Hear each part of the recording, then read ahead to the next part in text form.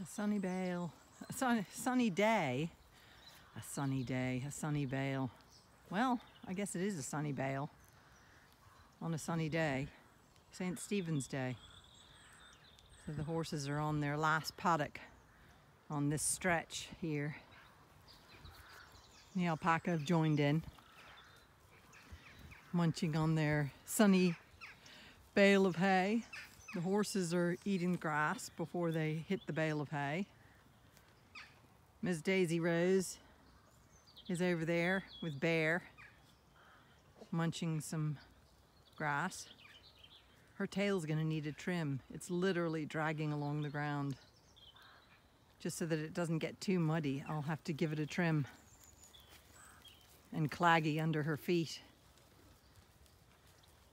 So all the alpaca family are munching the hay. The two horses are wandering around saying, hmm.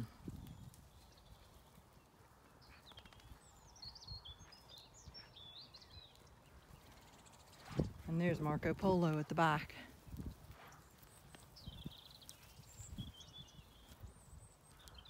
And there's me. Hello everybody, happy St. Patrick's Day. So they'll munch this down. I'm gonna spread that last little bale. Oh, that last little bale, a portion of the bale of hay on the ground around here. This isn't waste, it's instead of fertilizer and increases organic matter and soil fertility and microbiology and all kinds of good stuff. So nothing's wasted.